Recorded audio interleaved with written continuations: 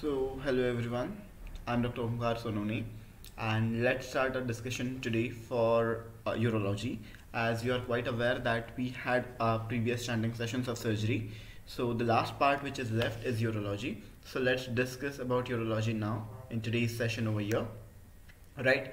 So talking about urology, guys, there are some important points and the images you need to remember because mostly from urology images play a very important role and that's the reason why you need to at least remember the images from urology. Okay? So starting on this note so first of all talking about the urethra. So the male urethra the length of male urethra is 16 to 20 centimeters. Length of male urethra is 16 to 20 centimeters whereas the diameter is 6 to 8 mm diameter is 6 to 8 mm on the other hand, the female urethra is shorter. The female urethra is only 4 centimeters in length, only 4 centimeters in length, whereas 4 to 6 mm in diameter, right? Then usually the male urethra if we talk about, so please remember the male urethra is usually divided into an anterior urethra and the posterior urethra which are further subdivided. The anterior urethra is subdivided into the penile urethra and the perineal urethra. Okay, the penile, which uh, is the part of the urethra which is in the penis, whereas the perineal urethra is also known as the bulbar urethra. Whereas the posterior urethra is further subdivided as membranous urethra and prostatic urethra. Prostatic urethra is that part which is surrounded by the prostatic gland, right? Important. So they can ask you the narrowest portion of the male urethra. So please remember the narrowest portion of the urethra would be external urethral meatus. Narrowest portion of male urethra is external urethral meatus. Meatus means the opening. So then external urethral opening is the narrowest portion. Okay, if it is not an option, the second narrowest part would be the membranous urethra. Second most, uh, second most narrowest is the membranous urethra. If they ask you about the widest part of urethra, so the widest part of urethra would be your prostatic urethra. Widest part would be the prostatic urethra. Okay. Then look at this image. What are these? So please remember these. This is a Foley's urinary catheter. This is a Foley's urinary catheter. Over here we can see usually it is a two-way catheter but this one is a three-way catheter. Okay, this one is a three-way catheter. So the green one that is a 14 French catheter and the orange one is a 16 French catheter. Okay, at least remember it has a balloon for its fixation. So once you insert this Foley's catheter into the urinary bladder then you can inflate this balloon so it is fixed at that place. Okay, so important only the image you need to remember that is a Foley's urinary catheter. Right then if I talk about the contrast studies, the contrast studies which are there for the upper urinary tract, would usually be a intravenous pyelography IVP or an intravenous urography IVU, right? IVP or a IVU. Or you can perform a anterograde or a retrograde pyelography, anterograde or a retrograde pyelography. Then if I talk about the lower urinary tract, for lower urinary tract, the contrast studies would be cystography, which is for the urinary bladder, cystography, retrograde urethrogram which is for the urethra. Retrograde urethrogram RGU and micturating cystourethrogram. Micturating cystourethrogram is also known as a voiding cystourethrogram because this is the x-ray which is taken when a patient is voiding after injecting a dye. Okay? So this is uh, this is all the contrast studies you need to remember. Then if I talk about the first anomaly or rather a first congenital anomaly of the kidney that is ectopic kidney right? Ectopic kidney means it is not at its original place right? So ectopic kidney the most common site would be the left side okay? So most commonly ectopic kidney would be present on the left side. And the most common site of ectopic kidney would be the pelvis. Most common site of ectopic kidney would be the pelvis important right? Then if I talk about the next congenital anomaly that is horseshoe kidneys okay? So horseshoe kidneys are what? So please remember horseshoe kidneys are a pair of ectopic kidneys. Both are not present under at their own places. Okay? So horseshoe kidneys are a pair of ectopic kidneys which are fused with their lower poles okay? So they are usually fused with their lower poles as you can see in the CT image over here. Right? So please remember pair of ectopic kidneys which are fused at the lower poles are known as horseshoe kidneys. Most common site of fusion has been asked in the question. So the most common site of fusion is L3, L4. Most common site of fusion for horseshoe kidneys would be L3, L4. the first investigation that would be done in a horseshoe kidney as we have discussed most likely the first investigation that we do in abdominal pathologies would be a ultrasound abdomen right ultrasound abdomen is the first line investigation but the investigation of choice would be CECT abdomen contrast enhanced CT scan abdomen then we can also perform a contrast study that is IVP intravenous pyelography and on that we can see a characteristic sign. So please remember horseshoe kidneys on IVP will show flower vase appearance or a hand joining sign. Flower vase appearance or a hand joining sign important right. Then talking about the next condition and that is PCKD polycystic kidney disease. Polycystic kidney disease can be of two types either it is congenital or it is infantile. The infantile variety is usually autosomal recessive and it is very rare. But the congenital variety, this congenital variety, it has autosomal dominant pattern of inheritance and it is present usually in adults, right? It almost manifests at 25 to 30 years of age group. The most common site so now in PCKD what happens usually there are multiple cysts in the kidney just like this CT image over here you can see there are multiple cysts in the kidneys fluid filled cysts will be there but apart from kidneys, there can also be cysts in other organs. So the most common site for extra-renal cysts would be liver. Most common site for extra-renal cysts would be liver. Okay. The investigation of choice for this condition would be a CECT abdomen. Again, investigation of choice would be a CECT abdomen. Treatment for this uh, polycystic kidney disease would be de-roofing of this cyst okay this cyst should be de-roofed okay their covering should be removed that is de-roofing of the cyst but the best treatment would usually be a renal transplant finally because there is a high chance of recurrence. So therefore the best treatment for PCKD would be a renal transplant. Important points about renal transplant. The most common site for renal transplant would be left iliac fossa. Most common site for renal transplant would be the left iliac fossa important. Okay please remember. And before a renal transplant is to be performed you need to do a blood grouping as well as a HLA matching. That is mandatory. Blood grouping and HLA matching is mandatory. I hope this is fine with everybody. Moving further now. Moving to the next thing that is ectopic ureter. Okay so now talking about the ectopic ureter most common site for an ectopic ureter usually the ureter does not open into the urinary bladder rather it opens at some other place okay so the most common site for ectopic ureter in males would be posterior urethra most common site for ectopic ureter in males would be the posterior urethra whereas most common site for ectopic ureter in females is distal to the distal sphincter okay the distal sphincter to uh, distally to it the uh, female ectopic ureter will open. As in males, it opens into the posterior urethra. The males would usually present with recurrent urinary tract infections. Whereas in females, as it opens distal to the distal sphincter, there is no control of the urine. Therefore, there would be dribbling incontinence. Continuously, there would be dribbling of the urine. I hope this is fine. What should be the treatment for ectopic ureter then? It is ureteric reimplantation. Treatment for ectopic ureter is re ureteric reimplantation. It should be again reimplanted into the urinary bladder. Then talking about the next condition that is posterior urethral valve. Okay, posterior urethral valves. And please remember posterior urethral valves are the most common anomaly of the urethra. Posterior urethral valves are most common anomaly of urethra. Okay so it is more commonly present in boys. So please remember posterior urethral valves are very very common in boys. Okay they are much much much more common in boys as compared to girls the most common site would be distal to verumontanum. Distal to the verumontanum. So usually in the male urethra there is a elevation known as veru montanum. so distal to the veru montanum, there would be presence of this posterior urethral valves right?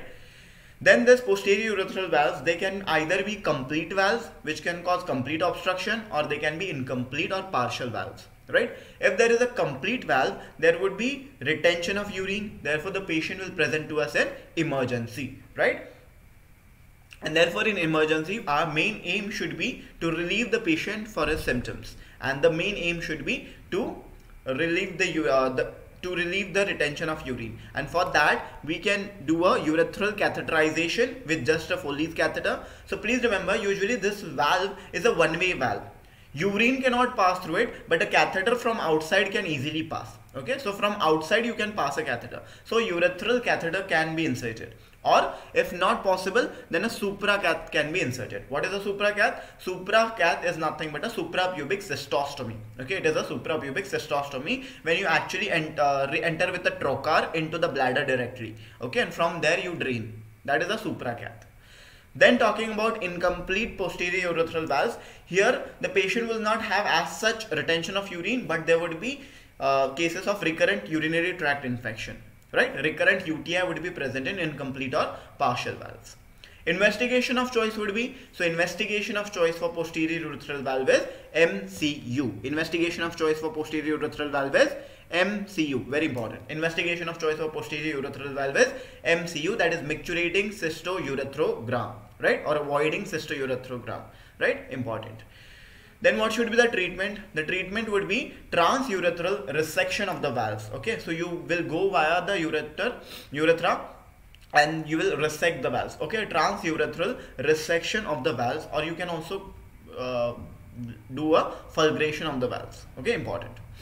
Then if I talk about this image first, what is this image? This image is a IVP picture. Okay, this is an intravenous pyelography picture, right? Over here you can see what? Over here you can see a characteristic appearance known as the drooping lily sign. Okay, here you can see that the structure like lily is formed. Okay, important. But over there it is drooping. Okay, one side it is drooping down. So this is known as a drooping lily sign and drooping lily sign is a feature of duplication of renal pelvis and ureters. When there are double renal pelvis and double ureters, usually the upper renal pelvis and upper ureter will compress the lower renal pelvis or the ureter okay? So drooping lily sign is a feature of duplication of renal pelvis and ureter. Du drooping lily sign is a feature of duplication of renal pelvis and ureter. Important whereas the next image that you can see down here it is again a IVP image. But in this IVP image it is very important because it has been asked twice in the examination.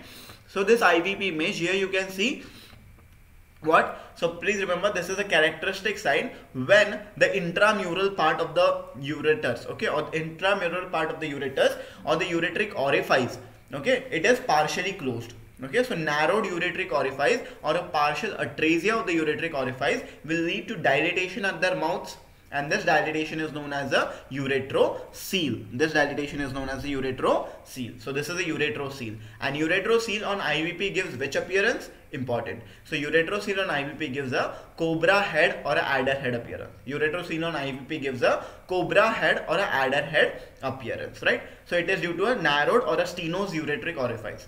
So treatment would be just a excision, just a cut would be given. Okay. So treatment would be an incision uh, incision should be given at the ureteric orifice. I hope this is clear.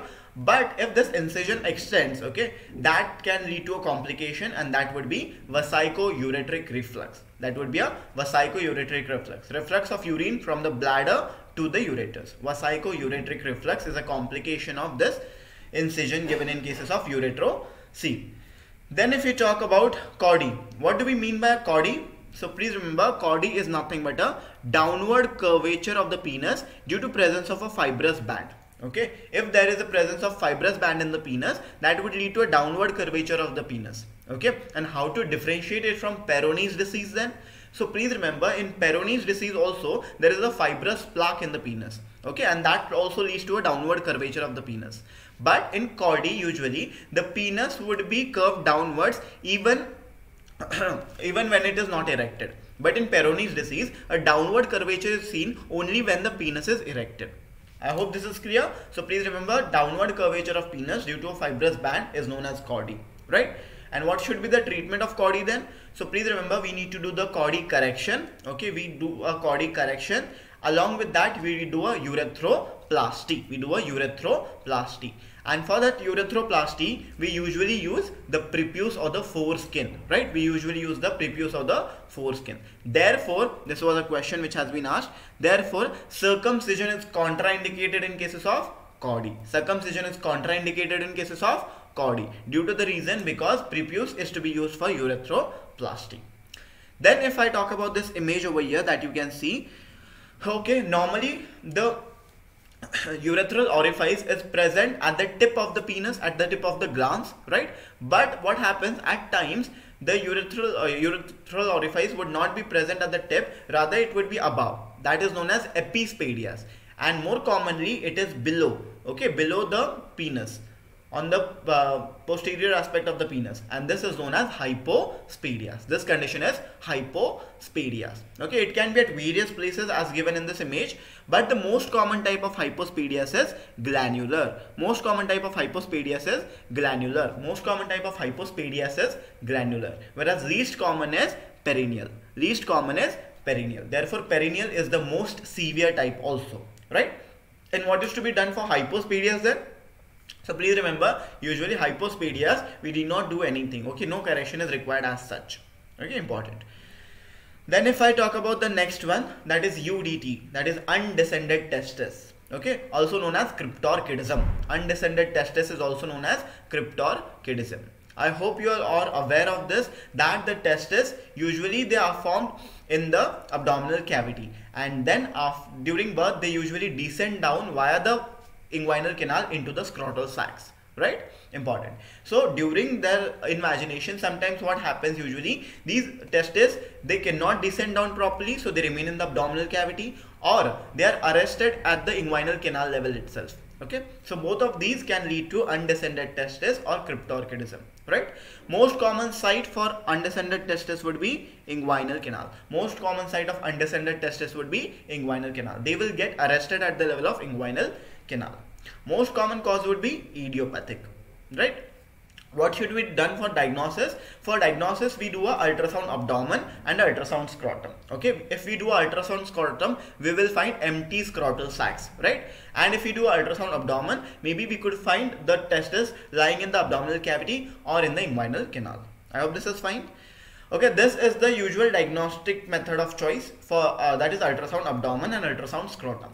But the best technique if asked, if they ask the best technique, though it is not practical, but it is the best or the gold standard technique. As I've always told, best or gold standard techniques are not always practical, right? So the best technique or the gold standard technique for undescended testes would be diagnostic laparoscopy. Diagnostic laparoscopy. A laparoscopy would be performed just for the diagnosis of undescended testes. That's the reason why it is not practical, right? Treatment of choice would be orchidopexy. Treatment of choice for undescended testes is orchidopexy. We will bring down the testes and fix it in the scrotum sac. Okay, pexy is fixation, right? So orchidopexy. And what is the age in which orchidopexy generally done? So please remember 9 to 12 months of age. Okay. Orchidopexy in undescended testes is done at 9 to 12 months of age. Orchidopexy in uh, undescended testes is done at 9 to 12 months of age. Because there is a reason till 9 months of age a normal descent of testes can be seen. Okay. In spontaneous descent of testes can be seen till 9 months of age. So we wait till 9 months of age. Then talking about the next condition that is pelvic-ureteric junction obstruction. Okay, PUJ that is pelvic-ureteric junction obstruction. It is more common in males. So please remember pelvic-ureteric junction obstruction. That means where the renal pelvis and the renal ureter and the ureter starts. Okay. So please remember this is the renal pelvis and this is the ureter. Okay. So please remember at this junction this is known as the pelvi-ureteric junction right? So there can be obstruction of this pelvi-ureteric junction. It can be either due to atresia, that means this pelvi-ureteric junction is not formed, right? That is atresia, okay? Or it can be due to high insertion, okay? If there is high insertion also, it can cause obstruction because the urine could not flow, right? If it is this way. So, it, if it is due to absence, that is atresia, then the treatment would be Anderson-Hynes dismembered pyeloplasty, okay? So you are actually reconstructing the renal pelvis. Therefore, it is known as pyeloplasty. So for atresia of PUJ, there would be Anderson-Hynes dismembered pyeloplasty. But if there is only high insertion, then you will perform a Foley or Culp's pyeloplasty. Then you will perform a Foley or Culp's pyeloplasty. And the investigation of choice would be a DTPA scan. I hope you are quite aware from radiology. DTPA scan is a type of nuclear scan done for renal function assessment, right? So DTPA scan is performed. DMSA scan is for renal morphology. Okay, M for morphology, DMSA. Important it is. Then moving further, talking about the next condition and that is bladder rupture. Okay, important topic. so pay attention please. So in bladder rupture, there can be either an intraperitoneal bladder rupture or an extraperitoneal bladder rupture. The more common one is a extraperitoneal bladder rupture. More common one is a extraperitoneal bladder rupture. Okay.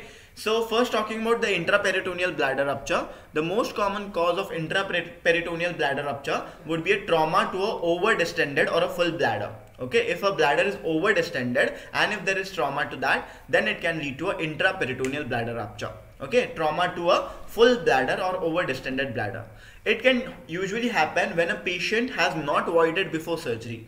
Okay, therefore a slight uh, touch also with a sharp instrument to the bladder can rupture it, right? So please remember that is the reason why the bladder is to be kept emptied before a surgery, right? So it can happen during surgeries also or it can also happen in beer drinkers, okay, who have a over distended bladder and they have a trauma after that.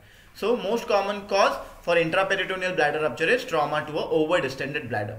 And the bedside test would be a peritoneal tap okay just you inject a needle and aspirate okay एक syringe से you will aspirate if you get urine in that that means like uh, you can say okay there is an intraperitoneal bladder rupture investigation of choice would be a cystogram investigation of choice would be a cystogram that means a bladder study is done right cystogram treatment would be so please remember, as now as there is an intraperitoneal bladder rupture, and as you all know, peritoneal cavity is a serous cavity, okay, very clean cavity. Therefore, if there is urine into the peritoneal cavity, that can lead to peritonitis. Therefore, the treatment should be laparotomy, peritoneal lavage, along with bladder repair and then we should insert a catheter for drainage okay so important what is the treatment of choice for intraperitoneal bladder rupture laparotomy plus peritoneal lavage plus bladder repair plus catheterization. I hope this is fine. If you see the image of intraperitoneal bladder rupture on a CT scan, this is how it will look. Okay, it will give a sunburst appearance. It gives a sunburst appearance. So please remember when you inject the dye, the dye will spread out over there in the peritoneum. So a sunburst appearance is seen for intraperitoneal bladder rupture. Then if we talk about extraperitoneal bladder rupture, the most common cause for extraperitoneal bladder rupture is pelvic fracture. Most common cause for extraperitoneal bladder rupture is pelvic fracture, right? And the treatment for this is simple, that is just a catheter drainage. Treatment is just simple, that is a catheter drainage. If we look for extraperitoneal bladder rupture, we can find a teardrop shaped bladder and this is known as a teardrop deformity or a teardrop bladder. So teardrop bladder is a feature of extraperitoneal bladder rupture. Teardrop bladder is a feature of extraperitoneal bladder rupture, whereas sunburst appearance is seen in intraperitoneal bladder rupture.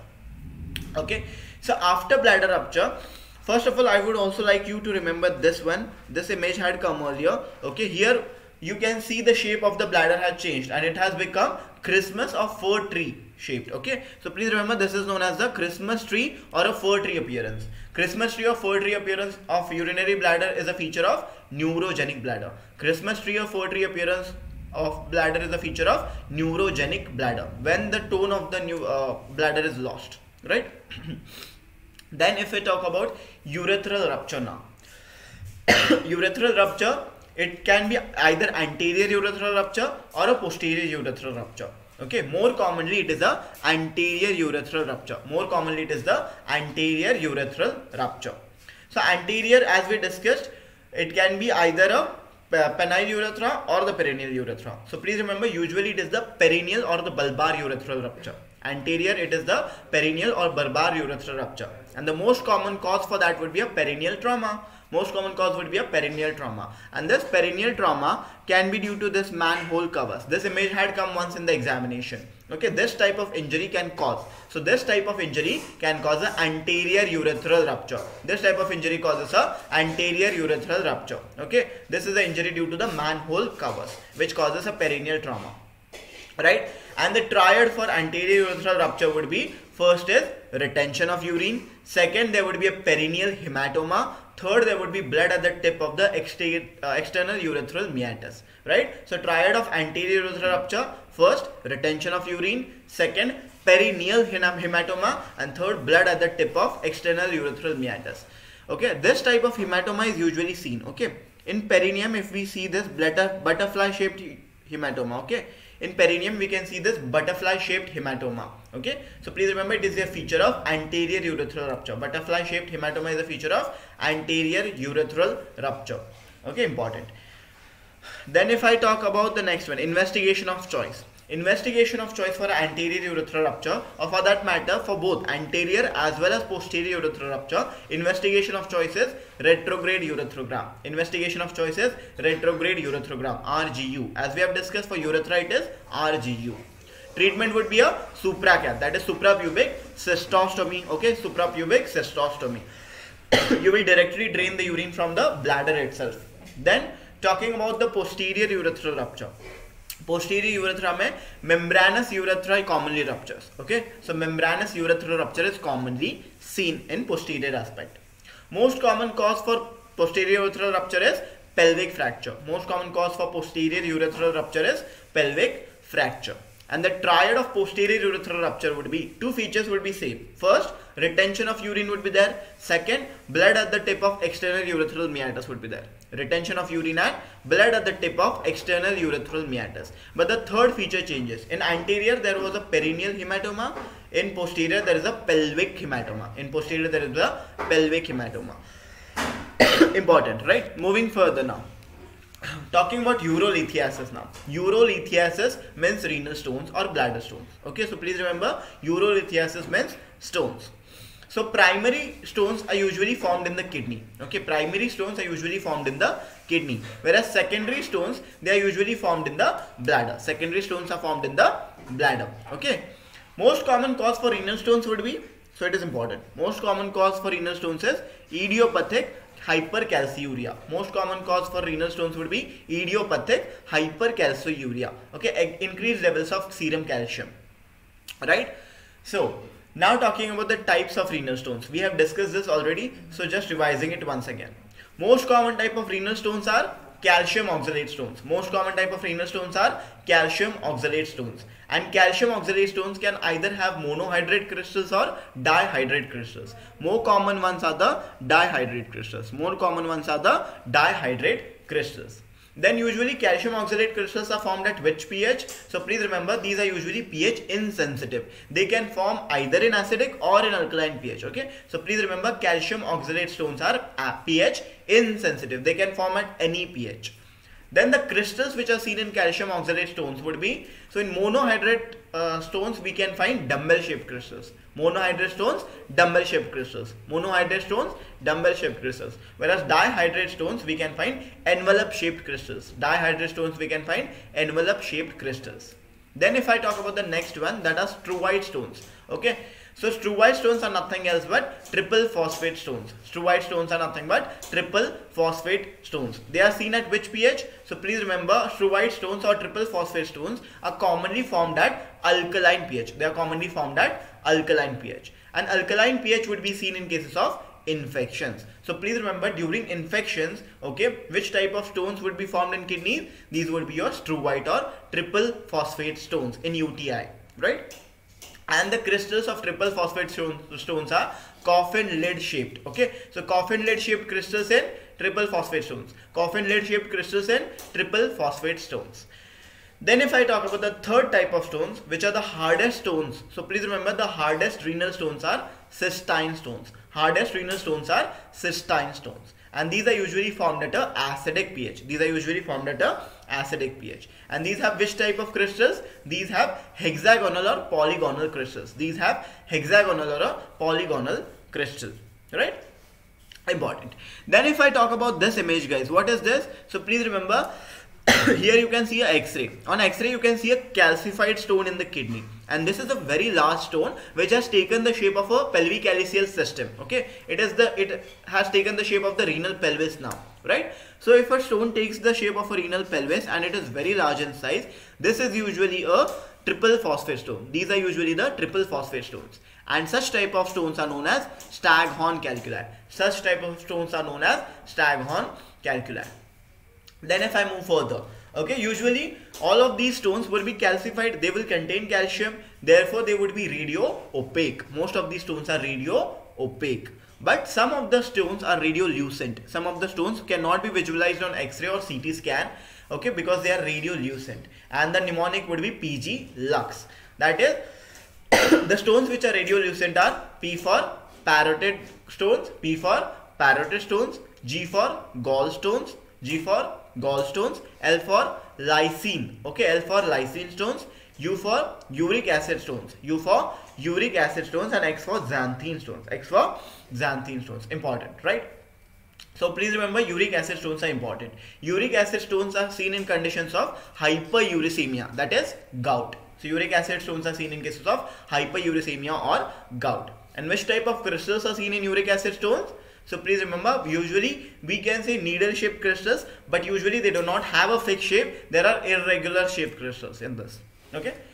Then if I talk about the urinary bladder stones now. Urinary bladder stones, most common type of urinary bladder stones in children are triple phosphate stones. Most common type of urinary bladder stones in children are triple phosphate stones. And most common type of urinary bladder stones in adults are uric acid stones. Most common type of urinary bladder stones in adults are uric acid stones. I hope this is clear. Then, I, if I say what is the earliest feature of stones. So please remember the earliest feature of stones would be increased urinary frequency. Okay, please remember increased frequency of micturition or urination is the first or the earliest feature in cases of stones. Important, right? Whereas the most common symptom would be pain. Most common symptom is pain. Whereas the earliest symptom would be increased urinary frequency okay? Now if we talk about the ct scan that you can see over here you can see a radio opaque structure that is nothing but a renal stone in the kidney over there. Right? On the other hand this image is an x-ray which shows a large huge calcified structure in the place of the urinary bladder. This is a giant bladder stone. And this image had come earlier in the examination. Okay? The same type of image. Okay? Giant bladder stone was given. Right? Important then if I talk about the pain, okay, so now the pain in cases of renal stones differs. So you need to know at least these three to four types of pains. So please remember, pain in cases of kidney stone would be a lumbar pain or a loin pain. Okay, pain in cases of kidney stones would be a lumbar or a loin pain, right? At the back. Then pain in cases of upper one third ureteric stones. Okay, if a stone is present in the upper one third of the ureter. Okay, so upper one third ureteric stones, there would be a lumbar pain radiating to the testis in males, whereas perineum in females. So please remember upper one third ureteric stones, there is a lumbar pain radiating to testis or perineum. Radiating to testis or perineum. If the stone is at the pelvic brim and this was a question which has been asked.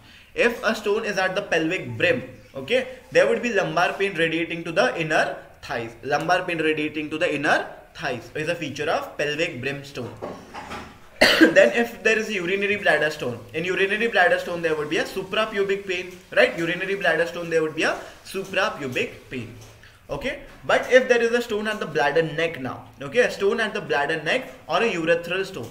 So stone at bladder neck or urethral stone there would be a suprapubic pain referred to the tip of penis in bladder neck stone or urethral stone there would be a suprapubic pain which is referred to the tip of the penis for diagnosis of stones what should be done so please remember the first line investigation can either be a ultrasound or it can be a x-ray KUB okay ultrasound or x-ray KUB kidney ureter bladder right?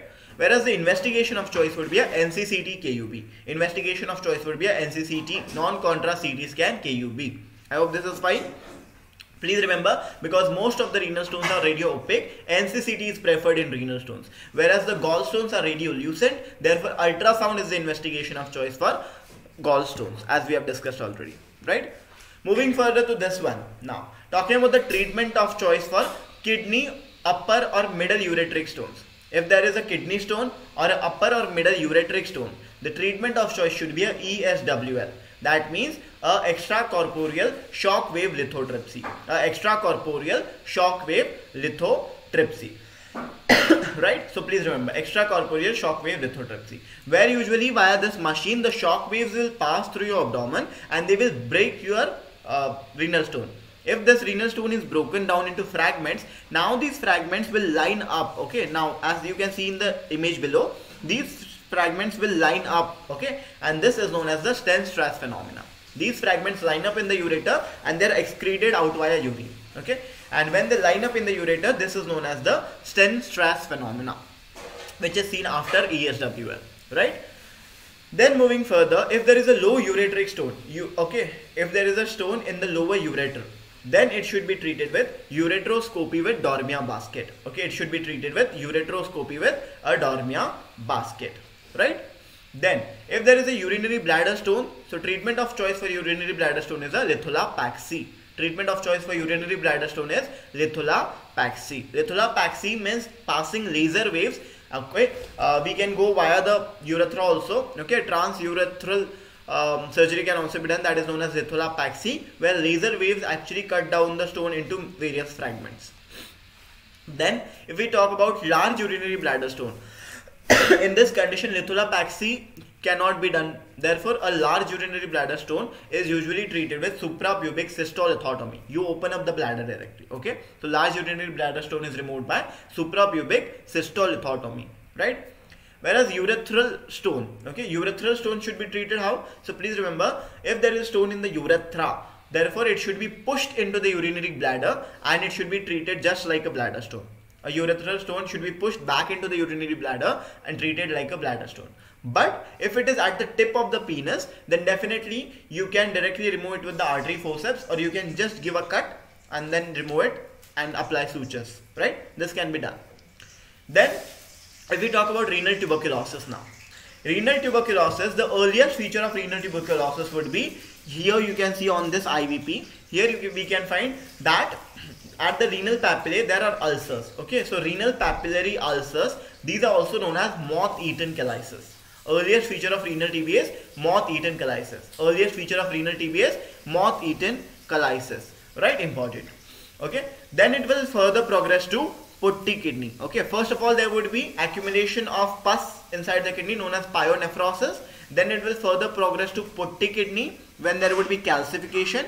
So here you can see the putty kidney, okay, which appears to be calcified on the X-ray, right? Then it will further progress to cement kidney even, right? so this is important. Then if I talk about bladder care, bladder TB. Bladder tuberculosis, the earliest feature would be narrowing of the ureteric orifice. Bladder TB, the earliest feature is narrowing of the ureteric orifice. Okay, and then it will further progress to a thimble bladder. Then it will further progress to a thimble bladder. Okay, so narrowing of the ureteric orifice, the first stage of bladder TB is usually gives which appearance? It gives a golf hole appearance. It gives which appearance? It gives a golf hole appearance. Important. Okay. So please remember, renal TB earliest feature is moth-eaten calyces. Earliest feature of renal TB, moth-eaten calyces. Whereas the last stage would be cement kidney. Right. Bladder TB earliest feature is narrow ureteric orifice known as golf hole appearance. Bladder TB earliest feature is golf hole appearance. Whereas the last stage would be thimble bladder. Last stage would be this thimble bladder. Okay we're having multiple uh, perforations. Then if I talk about the most common or the earliest symptom of uh, renal or bladder TB. The most common or the earliest symptom of tuberculosis of the kidney or the bladder would be increased frequency. It would be increased urinary frequency. Whereas the investigation of choice would be a CECT abdomen. Investigation of choice would be a CECT abdomen. I hope this is fine. Moving further now, talking about the renal tumors. Okay, so if we talk about the renal tumor, the first one is a Wilms tumor. The most important one is a Wilms tumor, also known as nephroblastoma. Wilms tumor is also known as nephroblastoma. It is common in children less than 3 years of age. It is common in children less than 3 years of age. It is usually a tumor having all the three cell lines. That means epithelial components, mesenchymal components as well as embryonal components. Okay, it contains all the three cell lines. Most common site of Wilms tumor would be the upper pole of kidney. Most common site for Wilms tumor is the upper pole of kidney. For that matter, for any of the renal cancer, the most common site is the upper pole of kidney. Then if I talk about the gene mutations, Wilms tumor is usually hereditary and it is due to two gene mutations, WT1 and WT2 gene mutation, right? So WT1 gene mutation is associated with two, two important syndromes and that is a WAGR syndrome and Denys-Drash syndrome. At least remember the names. Okay, WT1 syndrome, uh, WT1 gene mutation is associated with WAGR syndrome and Denys-Drash syndrome. Whereas WT2 gene mutation is associated with Beckwith-Wiedemann syndrome on which question has been asked. WT2 gene mutation is associated with Beckwith-Wiedemann syndrome. And what happens usually in Beckwith-Wiedemann syndrome? Important question from pediatrics there is a hemihypertrophy. That means half of the body of the child would be hypertrophied, larger in size. Okay, so hemihypertrophy is a feature of Beckwith-Wiedemann syndrome, right? Then, most common symptom of Wilms tumor would be, so please remember, most common symptom of Wilms tumor is the abdominal mass. Most common symptom of Wilms tumor is the abdominal mass. Along with abdominal mass, there can be fever and hematuria. So the triad of Wilms tumor would be abdominal mass, fever, hematuria. Triad of Wilms tumor is abdominal mass, fever, hematuria. The first investigation to be performed, again abdominal pathology. So first line investigation would be ultrasound abdomen. First line investigation would be a ultrasound abdomen. Investigation of choice would be a CCT abdomen. Investigation of choice would be a CCT abdomen.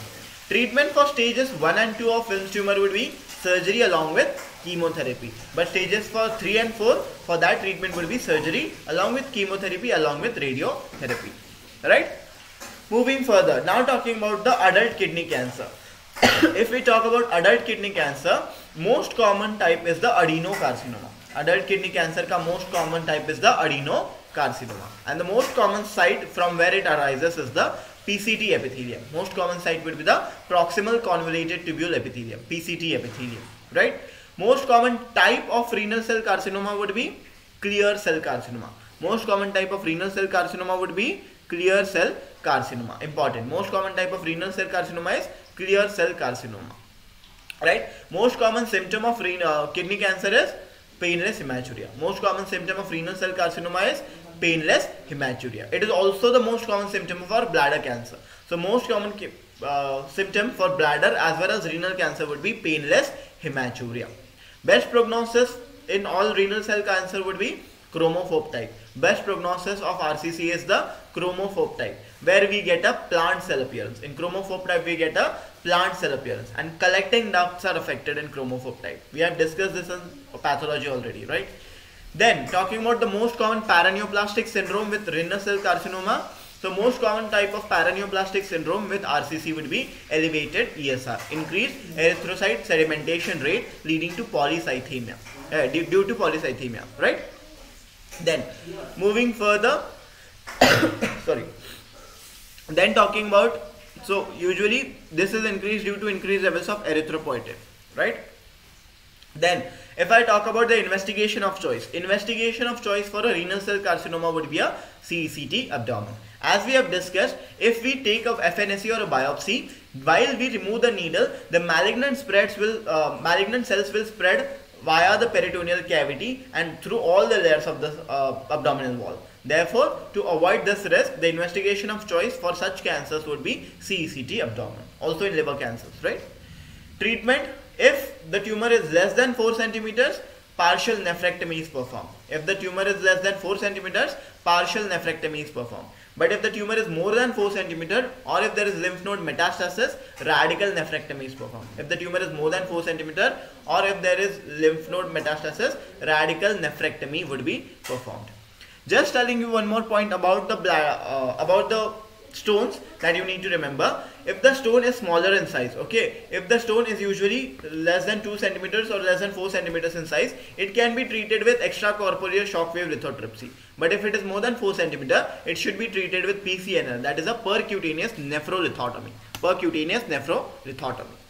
Moving further now talking about the urinary bladder cancer most common type of urinary bladder cancer is transitional cell carcinoma. Most common type of urinary bladder cancer is transitional cell carcinoma. Right? Second most common is squamous cell carcinoma. And if the question comes, which is the most common type of bladder cancer associated with schistosomiasis, then the answer should be squamous cell carcinoma. Most common type of bladder cancer associated with schistosomiasis is squamous cell carcinoma. Then, which is the most common site for bladder cancer? So please remember the most common site for bladder cancer would be your lateral wall. Most common site for bladder cancer would be your lateral wall followed by the trigone of the bladder, the middle part, right? Most common symptom as we discussed is a painless hematuria. Investigation of choice would be cystoscopy plus biopsy. As uh, over here in bladder, we can access bladder easily via uh, uh, via the urethra. So we can send a cystoscope. Along with that, we can send a needle and take a biopsy, right? So investigation of choice in urinary bladder cancer would be a cystoscopy plus biopsy. Surgical treatment of choice. If it is a superficial bladder tumor which has not invaded the mucosa now. So superficial bladder tumor are usually treated with this procedure known as TURP. That is a transurethral resection of the bladder tumor. Transurethral resection of the bladder tumor. But if it is an invasive bladder cancer, then you need to treat it with radical cystectomy. You need to remove the whole uh, urinary bladder. This is known as radical cystectomy. And a new urinary bladder is created. And this new urinary bladder is created with the help of ileum. This new urinary bladder is created with the help of ileum. Previously, we used to do a ureterosigmoidostomy. We used to open the urinary ureters into the sigmoid, but there was a high risk of colorectal cancer. Okay, that was that's the reason why it is avoided. Now talking about important condition that is prostate. Okay, so prostate gland, as we all know, it is 20 grams in weight usually. Okay, and this prostate gland, okay, it is divided into five lobes, or it is divided into um, McNeal three surgical zones. Okay, please remember it is divided either into five anatomical lobes or into three McNeal surgical zones. Okay, these zones are to be remembered. It is important on from the point of view of the BPH as well as prostate cancer. So if we talk about BPH, that is benign prostatic hyperplasia. So benign prostatic hyperplasia is more common in elderly males, around 60 to 70 years of adult uh, elderly males. It is more common BPH. Most common site for BPH would be transitional zone. So here you can see there is there are three zones, central zone, transitional zone and the peripheral zone. So most common site for BPH is the transitional zone. Okay, most common site for BPH is the transitional zone. Types of BPH, either it can be a obstructive BPH where there would be a post void residue, the uh, urination would be obstructed. Okay, these features would be seen. Whereas the other type would be an irritative type where there would be increased urinary frequency, okay, or there would be intermittent urination, there can be nocturia, okay, so obstructive and irritative type. Uh, if we perform a digital rectal examination, on digital rectal examination we can find a enlarged prostate gland, right? Then if I talk about the investigation of choice, investigation of choice would be a ultrasound. Investigation of choice for a BPH is ultrasound. On ultrasound you can find the post void residue. Post void residue matlab after the patient voids or after the patient urinates then also there would be some amount of urine left in the bladder. This is known as the post void residue. Okay? So post void residue in cases of bph would be more than 100 ml okay? And this is an important feature on ultrasound for bph then drug of choice for BPH as we have already discussed it is a selective alpha 1a blocker and that is known as tamsulosin a selective alpha 1a blocker okay? And to decrease the size of prostate we can use an anti-androgenic drug that is known as finasteride okay? To decrease the size we use finasteride then if I talk about the surgery for BPH, benign prostatic hyperplasia, it is this surgery which you can see in this image, okay? So please remember it is a McCarthy's TURP, okay? McCarthy's TURP, that means a McCarthy's transurethral resection of the prostate. McCarthy's transurethral resection of the prostate. And the most common fluid used for this TURP would be glycine. Most common fluid used is glycine. Now moving further, talking about prostate cancer. So prostate cancer is the most common type of cancer in elderly so most common cancer in elderly would be prostate cancer most common cancer in elderly males is prostate cancer most common site for prostate cancer is the peripheral zone most common site for prostate cancer is peripheral zone so you need to remember three Ps prostate cancer peripheral zone में common है and posterior lobe में common है. Okay peripheral zone या posterior lobe So usually from prostate cancer, as we have discussed yesterday also in yesterday's session, there is a metastasis from prostate cancer and this metastasis generally occurs to the lumbar vertebra. This metastasis mainly occurs to the lumbar vertebra via the Batson's plexus of veins, via the Batson's plexus of veins. And this type of uh, metastasis which occurs to the lumbar vertebra in prostate cancer is an osteoblastic metastasis. Whereas most of the cancer will lead to destruction of the bone, osteoclastic metastasis. But usually in cases of prostate cancer, the metastasis to the lumbar vertebra is an osteoblastic metastasis. You can see increased formation of bone in this part, right? Important. Then talking about the screening test. The best screening test for a prostate cancer would be a digital rectal examination on which you can find an enlarged prostate along with serum prostate specific antigen which is a tumor marker for prostate cancer. Serum PSA that is prostate specific antigen. Investigation of choice would be, so please remember investigation of choice would be a prostatic biopsy. But prostatic biopsy cannot be directly taken. So please remember it is a transrectal ultrasound guided prostatic biopsy. It is a transrectal ultrasound guided prostatic biopsy. the sentinel lymph nodes for prostate cancer would be so please remember the sentinel lymph nodes for prostate cancer are the obturator lymph nodes. The sentinel lymph nodes would be the obturator lymph nodes, right? Then, if the prostate cancer is localized, okay, if the prostate cancer is localized only till the prostate gland, then just a radical prostatectomy is done. Only the prostate is removed, that is radical prostatectomy.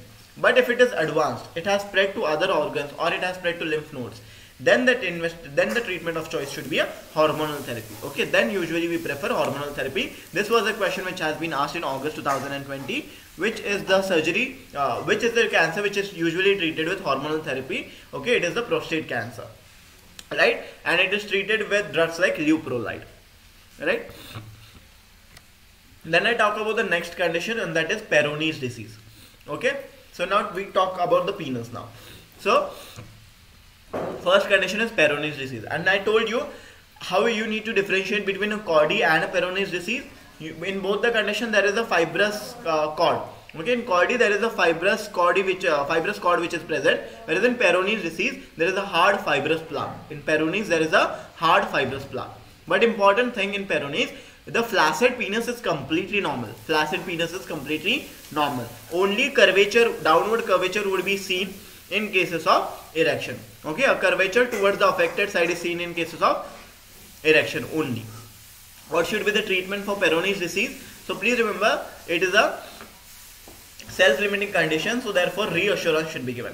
Peyronie's disease treatment should be reassurance. And if a patient wants an operation, therefore you can recommend him the Nesbit's operation. You can recommend him the Nesbit's operation in which usually we apply a non-absorbable suture on the other uh, part okay or the non-affected corpora cavernosa right? So please remember in uh, one corpora cavernosa there is a hard fibrous plaque which is leading to curvature. So in the other corpora cavernosa we can apply a non-absorbable suture which will stabilize it this is known as the Nesbit's procedure Nesbit's operation then if I talk about priapism now what is priapism? So priapism is a persistent painful penile erection. Okay, it is a persistent painful penile erection which can occur due to enthusiastic sexual intercourse. Right, that is known as priapism. Most common cause of priapism is usually idiopathic. Most common cause of priapism is usually idiopathic. If they ask most common cause of priapism in children, then it is sickle cell anemia or leukemia. Most common cause of priapism overall idiopathic. Most common cause of priapism in children sickle cell anemia or leukemia. Usually sickle cell anemia or leukemia, there is a vaso-occlusive crisis. Right? In sickle cell anemia, all of us know there would be these sickle cells would actually go and block the vessels. That would can lead to vaso-occlusive crisis. And one of the vaso-occlusive crisis can be priapism. Then, if I talk about the treatment for priapism, it would be aspiration of blood from the corpora cavernosa. Right? So penile erection is due to increased blood flow to the penis. Therefore, we need to aspirate the blood from the corpora cavernosa. Whereas the other treatment can be a cavernosa glandular shunt. The other treatment can be a cavernoso glandular shunt. I hope this is clear. Now, moving further with this image first. Okay, what is this image? So first image shows inability to retract the prepuce behind. Okay, inability of the uh, inability to retract the prepuce or the foreskin behind. This condition is known as phimosis. This condition is known as phimosis. And phimosis is generally treated with circumcision. Phimosis is treated with circumcision. The next condition usually shows inability to bring back the retracted prepuce. Okay, the prepuce or the foreskin was retracted, but now there is an inability to bring back the retracted prepuce.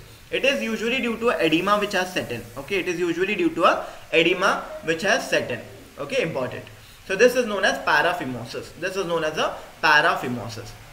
So in this condition usually you can use ice to reduce the edema and then you can retract back the prepuce. Otherwise if uh, not uh, if the ice therapy fails then you definitely can just give a slit. Okay? Important. Then talking about penile cancers. Okay? If we talk about penile cancer the most common type of penile cancer would be a squamous cell carcinoma most common type of penile cancer would be a squamous cell carcinoma this is the image okay ulcer of proliferative growth is usually seen okay a ulcer like and a proliferative growth is usually seen on the penis that is a penile cell carcinoma most commonly squamous cell carcinoma. Most common site for penile cell carcinoma, penile carcinoma would be glans or the prepuce. Most common site for penile cancer is glans or the prepuce. Prepuce means the foreskin. Okay. If both are there in option together, both, then that would be the best option. Glans plus prepuce. If not, try to uh, choose prepuce first because in most of the cases it is the foreskin or the prepuce which is affected commonly. Most common cause of penile cancer would be poor hygiene. Most common cause of penile cancer is usually poor hygiene, right? Investigation of choice for penile cancer is a biopsy. Investigation of choice for penile cancer would be a biopsy, right? Important. You can take a biopsy easily from the penis, right? The staging investigation of choice would be a MRI. As we have discussed usually in GIT, the staging investigation of uh, the staging investigation of choice in GIT was CECT. Staging investigation of choice in uh, GIT was CECT. But staging investigation of choice for penile cancer is a MRI. Staging investigation of choice for penile cancer is a MRI. Right? So then talking about metastasis, it is important. Okay. So please remember penile cancer will drain into the lymph nodes and the principal lymph nodes of pen penis are known as Cabanas lymph nodes. Okay, the sentinel or the principal lymph nodes of penis are known as the Cabanas lymph nodes because Cabanas was the one who actually brought this concept of sentinel lymph nodes. Okay, which are the first affected lymph nodes in any of the cancers, right? So Cabanas lymph nodes are usually seen in penile cancer. Then if we talk about treatment of choice, if we can preserve 2 centimeters of penis, okay, if we can preserve at least 2 centimeters of penis, we can perform a partial penectomy. But if we cannot even preserve 2 centimeters of penis, then we need to perform a total penectomy. We perform a total penectomy. Most common cause of death in penile cancer would be torrential hemorrhage. Most common cause of death in penile cancer is torrential or excessive hemorrhage. Right? Then moving further, talking about the next condition and that is testicular torsion. Testicular torsion is what? So please remember when actually the testis gets twisted, okay? And this condition can lead to a sudden severe abdominal or a scrotal pain. This condition usually leads to a sudden severe abdominal or a scrotal pain. Along with that, there would be redness and warmth of the uh, scrotal sac. Along with that, there can also be a low grade fever, okay? It will closely res resemble a inflammatory condition known as epididymoorchitis, inflammation of the epididymis and testis, okay? So testicular torsion closely resembles epididymoorchitis. Testicular torsion, the most common age group is 10 to 25 years. Most common age group is 10 to 25 years. And the most common cause of testicular torsion would be bell clapper deformity. Most common cause of testicular torsion is bell clapper deformity. Then most common clinical feature usually would be sudden severe abdominal or scrotal pain along with redness, right? And there can be low grade fever too. Then how you how do you differentiate between a testicular torsion and a epididymoorchitis. so please remember you differentiate it with a clinical test known as Prehn test important okay so you differentiate both of these conditions with the Prehn test okay so you actually try to elevate the scrotum if on elevation of scrotum if the pain is relieved it is it is a epididymoorchitis elevation of scrotum relieves pain it is epididymoorchitis so Prehn test is positive in epididymoorchitis Whereas Prehn test is negative. That means even on elevation of scrotum, pain is not relieved. That is Prehn test is negative. This is seen in cases of testicular torsion. Okay. Now, if they ask you about the treatment, first of all, uh, you can see this image over here. What is a bell clapper deformity? Okay. Now, usually along with testis when it descends down a layer of the peritoneum also descends down and that is known as the tunica vaginalis that is known as tunica vaginalis so usually this tunica vaginalis is covering one part of the testis at least okay so it covers one part of the testis but when it is only invested on the top of the testis when it is only invested on top of the testis it usually the testis will usually hang like a bell in the uh, the testis will usually hang like a clapper in the bell. Okay? The testis usually hangs like a clapper in the bell. This is known as a bell clapper deformity. And it is more prone to undergo testicular torsion. Right? Best treatment for testicular torsion would be immediate scrotal exploration. Best treatment would be a immediate scrotal exploration. If you have a portable ultrasound which can be performed easily then definitely you can perform an ultrasound prior but otherwise a immediate scrotal exploration is the best treatment okay now if a patient presents to you within 24 hours of testicular torsion, okay, if you are performing the surgery within 24 hours, then the testis would be viable. In this condition, you need to perform a derotation and orchidopexy. Orchidopexy, pexy means fixation, orchido means testis. So fixation of the testis, right? So in viable or 24 hour, within 24 hours, you perform a derotation along with orchidopexy. But if the patient presents after 24 hours, that is a non-viable testis, then you remove the testis that is orchidectomy. Then you remove the testis that is orchidectomy. And in both these conditions usually, whether it is viable, non-viable, you always need to perform a contralateral orchidopexy. Because in both the scrotum or both the testes there would be a bell clapper deformity. Therefore you also fix the other testes. Okay this is known as a co contralateral orchidopexy also. It is a preventive measure or a prophylactic measure. Then if i talk about the next condition that is varicocele. Okay varicocele is what? Okay, so please remember varicocele is just an abnormal dilatation of the pampiniform plexus of veins. I hope all of you are quite aware. Testis drains via the pampiniform plexus of veins, right? So abnormal dilatation of these testicular veins known as pampiniform plexus of veins is known as varicocele. Okay, usually they would be dilated and tortuous veins which will give a bag of worm feel or a bag of worm. Okay, on uh, palpation they will give a bag of worm feel. On palpation they give a bag of worm feel. Important right?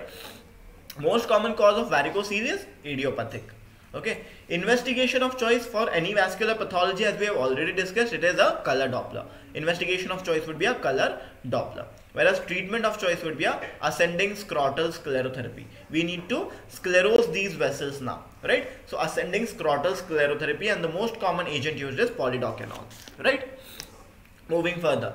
And to the last slide now. So first one is hydrocele okay? Hydrocele is what? So hydro means water right? So hydrocele is nothing but accumulation of fluid in the processus vaginalis. Okay accumulation of fluid in this processus vaginalis is known as a hydrocele most common cause is usually filariasis right? In lymphatic filariasis we can see a enlarged scrotum now. It is due to this hydrocele only right? There are three types of hydrocele you need to remember. First is a vaginal hydrocele when the fluid accumulates in the scrotal sac okay when the fluid accumulates in the scrotal sac it is known as a vaginal hydrocele which is the most common type of hydrocele. When fluid accumulates in the scrotal sac vaginal hydrocele. When fluid accumulates in the inguinal canal infantile hydrocele. Fluid accumulating in uh, inguinal canal infantile hydrocele. And when the fluid accumulates in the peritoneal cavity or there is a connection between the peritoneal cavity and the tunica vaginalis then this is known as a congenital hydrocele. So in congenital hydrocele, there is a connection you can see over here between the peritoneal cavity, okay, important, and the process processus vaginalis, right? And the treatment of choice for congenital hydrocele, this was a question which has been asked. It is important. So it is a herniotomy. Treatment of choice for congenital hydrocele is a herniotomy. Treatment of choice for congenital hydrocele is a herniotomy and it is generally performed after 3 years of age. It is generally performed after 3 years of age, right? Then, if they ask you the most common clinical feature, the most common clinical feature definitely would be a scrotal swelling. Okay, it would be a scrotal swelling, just like in this image you can see, right? And you can perform a test known as this trans-illumination test. You can pass light from one side and you can see the illumination on the other side. This is known as a trans-illumination test, which would be positive in cases of hydrocele. so trans-illumination test is positive in cases of hydrocele, right? Important because there is just an accumulation of fluid right? Whereas it uh, it would have been a mass then please remember it would have been a mass then the light would not pass. Trans-illumination test is negative in cases of mass okay so please remember trans-illumination test is positive as we had discussed earlier also. In cases of a posterolateral neck swelling that is cystic hygroma. Second in cases of hydrocele third a submandibular swelling known as ranula. It is a retention cyst ranula in that also. Along with that also meningocele in these conditions usually the uh, trans-illumination test is positive. Moving further okay so a treatment of choice now. Treatment of choice for hydrocele either can be a Jaboulay's operation okay a Jaboulay's operation or it can be a Lord's plication surgery. In Jaboulay's operation we can just open the straw open the sac okay in Jaboulay's operation we just open the sac but in Lord's plication surgery we open the sac okay? In Jaboulay's operation we open the sac and we just do a eversion and drain all the fluid. That is uh, that is it okay in Jaboulay's procedure But in Lord plication surgery, we open up the sac, we drain the fluid and we evert the edges and we ligate them. Okay, we evert and ligate the edges. Okay, you can see me doing this over here. Okay, in this surgery. So please remember, it is a Lord plication surgery which has been done. Then talking about testicular tumors now. Testicular tumors they are more common in younger males. Okay, testicular tumors are more common in young males. Important, right? Whereas in elderly males, the most common tumor was, or the most common cancer was prostate cancer in elderly males. Whereas in young males, the most common testicular tumor is, uh, the most common cancer is a testicular cancer or testicular tumor, right? Most common type of testicular tumor is a seminoma. Most common type of testicular tumor is a seminoma. Whereas most common type of testicular tumor in elderly would be a lymphoma. Most common type of testicular tumor in elderly is a lymphoma. Earliest clinical feature would be a heaviness in the scrotum. Earliest clinical feature of a testicular tumor would be heaviness in the scrotum. Whereas the most common clinical feature would be a scrotal enlargement. Most common clinical feature, scrotal enlargement. Investigation of choice would be a CECT scrotum. Investigation of choice would be a CECT, right? And tumor marker is alpha fetoprotein. Tumor marker is usually alpha fetoprotein. Also we use one another tumor marker that is LDH, lactate dehydrogenase, right? What is the surgery? So please remember we need to remove the testis. Okay, we perform a high inguinal orchidectomy. We perform a high inguinal orchidectomy. And the uh, testicular tumor can also be treated with radiation. Okay, and the only tumor which is most radiosensitive it is seminoma. So the testicular tumor which is most radiosensitive is a seminoma. So seminomas can also be treated with radiotherapy. With this I wind up surgery. Thank you so much and let's meet in another session okay uh, of medicine after a few days. So till that good luck goodbye. Thank you so much